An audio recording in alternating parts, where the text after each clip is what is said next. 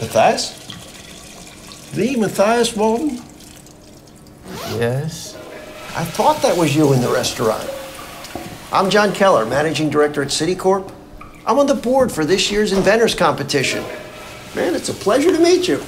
It's a pleasure to meet you too. What happened next? This guy, everybody was trying to get him to put his hands behind his back.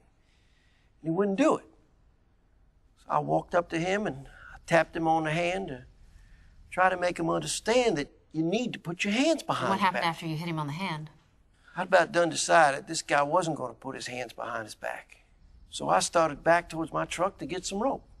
What happened next?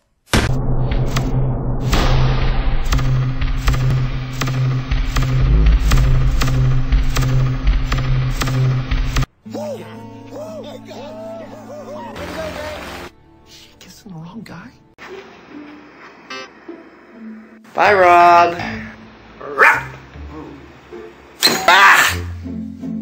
Why don't you two make like Michael Jackson and beat it? Go. President Obama, we'll start with the economy. Now, how do you plan to create jobs? And I'm interested in this for two reasons. The country needs jobs, and after this gig, I got no job, so help me. I'll just tap into our database and see what the problem is. Just calm down. We can fix this. Damien, Yes, sir. if you try to save Cassandra, we will kill you both. And you said everybody was in shock, right? Yes, Did Jason appear to be in shock? yes. Is there any question in your mind that this shooting might have been intentional? No, sir. It was not intentional. I can tell you that. When he asked you, What do I do now? You said, Jason, just tell the truth. Just tell the truth. Hello, Matthias.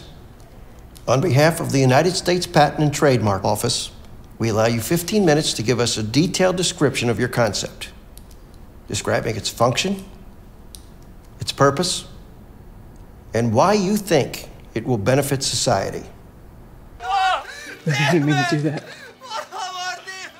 Jason, just tell the truth.